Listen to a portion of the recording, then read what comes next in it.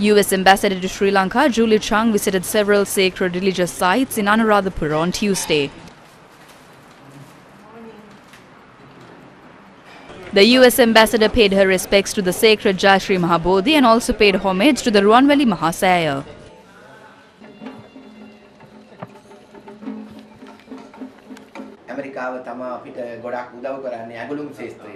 The US has supported our apparel sector and hundreds of thousands of Sri Lankan youth depend on that. A 16% tax is imposed while India is tax-free. If you can support to lift this tax for a small period, it would be supportive to alleviate from this economic crisis.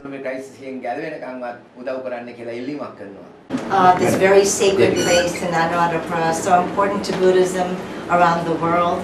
So thank you for the warm welcome, for me to pay respects to you and this uh, beautiful temple compound and the tree.